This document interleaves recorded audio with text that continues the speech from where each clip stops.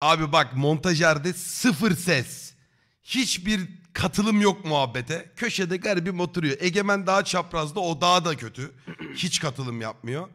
Arkadaş böyle muhabbet bir koyulaştı. Konuşuyoruz konuşuyoruz. Birileri aşk acısını anlatıyor. Birileri bilmem neyi anlatıyor. Arkadan montajer bir anda suyu çok içti herhalde.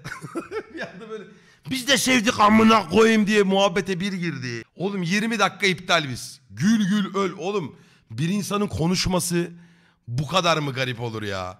Garibim bir anlattı bunu aldatmışlar, bunu tokatlamışlar. İki ilişki yaşamış, ikisin... Lan niye anlatıyorum lan? Ama yani içindeki o zehri bir dışarı attı. Hem üzüldük hem güldük ya. O amına koyayım diye bir girişi var. Tek konuşması buydu ha.